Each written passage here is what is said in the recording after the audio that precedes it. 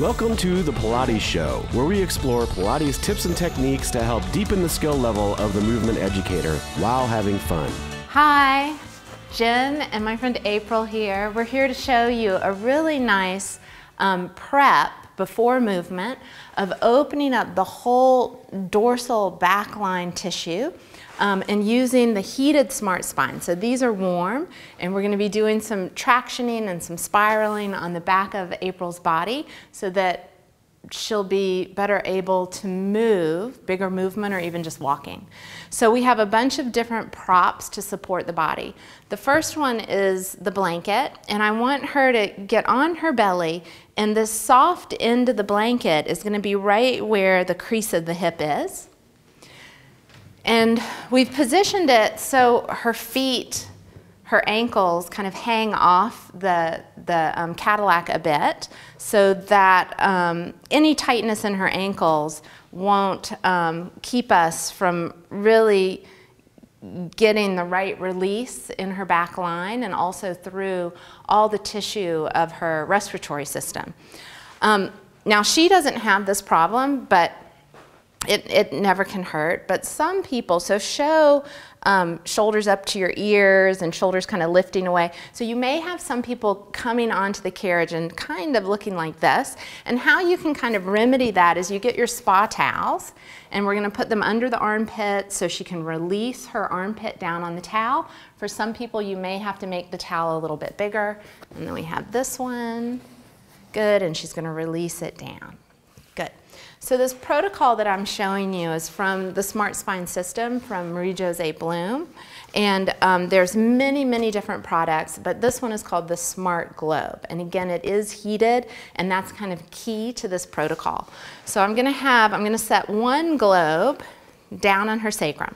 Now, just for time's sake, we're only gonna do one side of the spine. Sorry, April.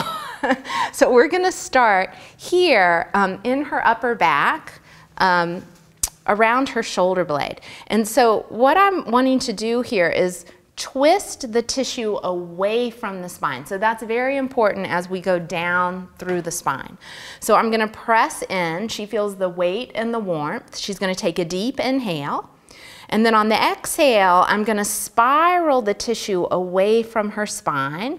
And then on the inhale, I'm just gonna let it unspiral or rebound. And then she does another exhale squeezing the air out and I'm putting a little bit of pressure downward.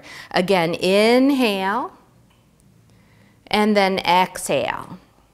And then on her next inhale, I roll the globe. So I come to a spot below and we do the same thing. Inhale, exhale.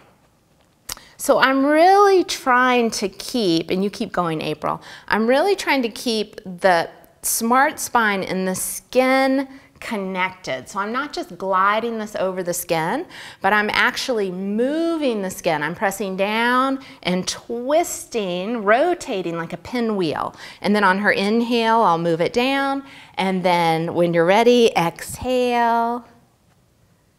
Good, and deep inhale. And sometimes I don't know my own strength, so I always ask the client um, to please tell me if I'm using too much or maybe if they need a little bit more. You okay, April? Feels good. Good. And then on the inhale, I'll roll it down. And this is the area of her spine where I'm seeing that there's a little bit of collapse. So the inhale, I really want her to fill up this kidney space. Good, and exhale. And I want you to feel like your ribs are falling to the carriage as I do this. Good. Inhale, breathe and exhale, ribs fall. Great.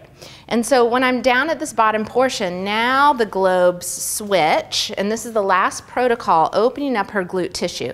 So I do this rotation um, in the opposite direction. So she takes a deep inhale, and then on the exhale, I rotate it away from her sacrum. So this is creating more space in the back of the pelvic floor. Inhale, breathe into the heat. Exhale, more space between the sacrum and the ilium. Wide, wide sitting bone. And one more long, deep inhale. And long, deep exhale. So this is a wonderful prep. It's client retention when you use these products, especially with the heat, but it's a wonderful prep before you start movement. That's it for today. If you have a different take on today's subject or if there's anything you'd like to see covered in an upcoming episode, we'd love to hear from you. Comment below on Facebook, Twitter, or in the forum at fusionpilatesedu.com. See you next time and never stop learning.